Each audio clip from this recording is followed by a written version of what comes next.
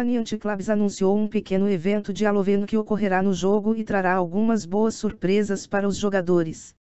Confira abaixo o anúncio feito pela empresa.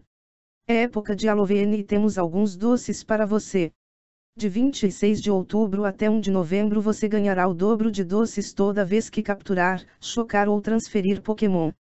Não se esqueça do seu Pokémon companheiro, porque ele vai te ajudar a ganhar doce quatro vezes mais rápido.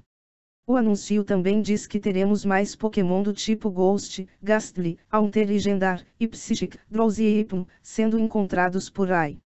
Se você encontrar mais Pokémon assustadores que o normal, não se assuste, eles querem se divertir também.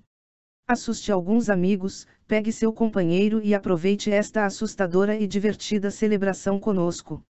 O evento começa em 26 de outubro. Fique de olho.